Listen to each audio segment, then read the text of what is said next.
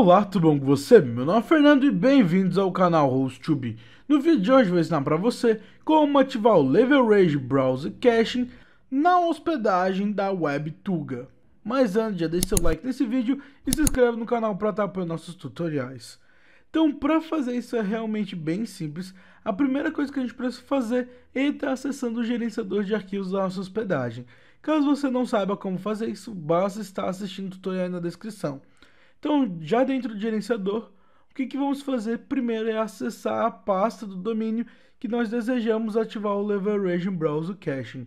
Se for um domínio adicional ou um subdomínio, basta você acessar o nome da pasta com o nome desse domínio ou subdomínio, porém aqui no meu caso eu vou estar ativando no domínio principal da hospedagem. Então por isso vamos acessar a pasta com o nome de public underline HTML. Então basta acessar e já dentro da Public ele vai mostrar todos os arquivos do seu site.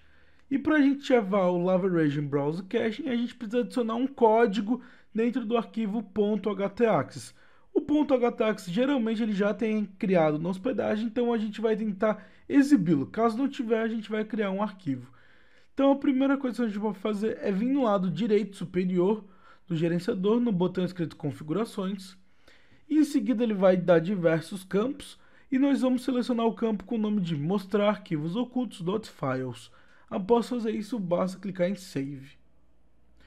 Prontinho, com isso ele já vai exibir vários arquivos ocultos que estavam no gerenciador de arquivos, porém aqui ele não mostrou nenhum arquivo com o nome de .htaccess. Isso quer dizer que não tem um arquivo desse tipo na hospedagem. Caso aparecer o arquivo .htaccess, basta você editar ele. No meu caso não tem, então eu vou vir aqui no canto direito, na opção mais arquivo, para criar um novo arquivo.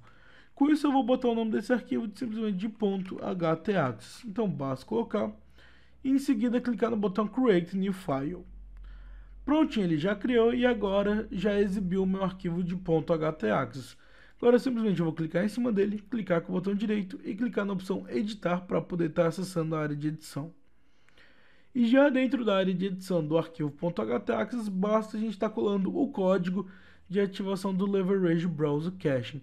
E para fazer isso eu já deixei esse código separado numa postagem lá no blog do Host2Be. Então basta você simplesmente acessar o link que está aí na descrição e com esse link ele já vai ter um código mostrando para ativação do Leverage Browser Caching. Então basta selecionar todo o código, dar um Ctrl C para copiar voltar no arquivo de edição do htaccess e dar um Ctrl V para colar.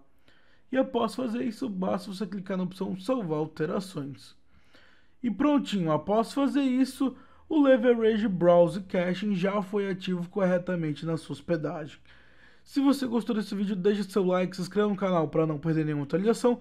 Nos vemos no próximo vídeo. Tchau!